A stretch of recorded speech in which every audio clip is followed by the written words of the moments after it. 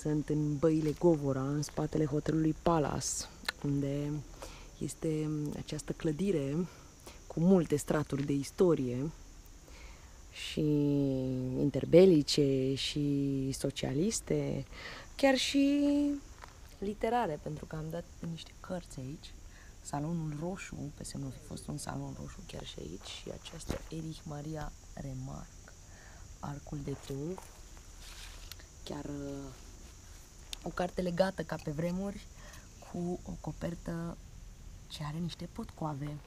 Poate am și un noroc pentru că am trecut mai devreme pe aici și doar m-am uitat la această clădire, nu am intrat de frica unor câini, unor paznici. Nu se știe, este impunătoare.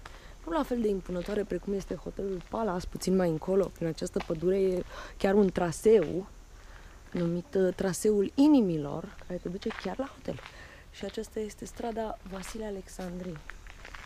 Iată cât de mâncat de natură și ce mă fascinează aici, că la fel ca în băile unde am fost de curând chirui sau uh, homorod, sunt mai multe straturi de istorie, adică nu e doar socialismul ăla, ci și, na, perioada inițială, perioada interbelică.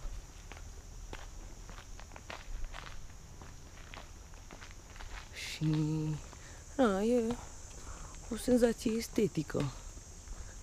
Îmbinarea dintre natură și intervenția umană, cum natura intră peste intervenția umană, așa stil planeta maimuțelor. Acum, da, sunt într-un soi de planeta maimuțelor. Mai este o clădire aici. Și iată, avem și gratii.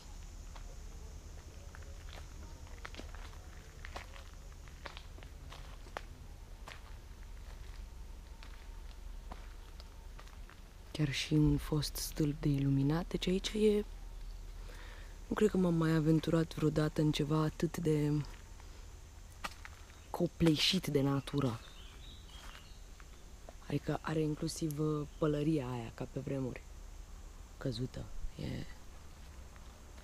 Aici pare să fost un traseu al unui câine. Dar a merge către altă clădire.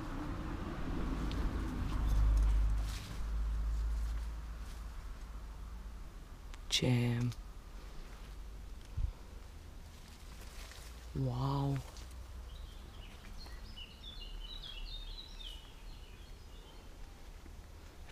Am găsit ceva chiar uh, fascinant. Un foișor. Iată-l. Ți-e dor de cineva, ce vrei tu, cum vreau eu.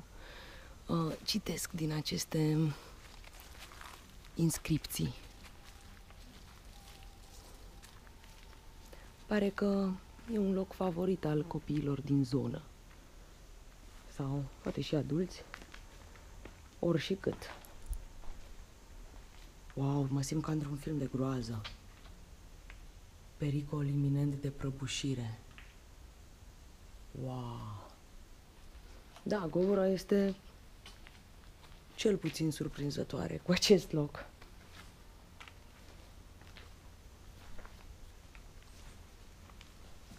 Adică pe vremuri a fost uh, a fost ceva absolut deosebit aici. Perioada interbelică. Mai sunt niște mirosuri, poate au murit niște animale, iată și aici. Mai este o clădire acolo, adică e ceva enorm. Nu sunt eu fan de senzații atât de tari, astfel încât să mă bag pe aici și nu e nici genul meu de arhitectură. Dar oricât, e frumos.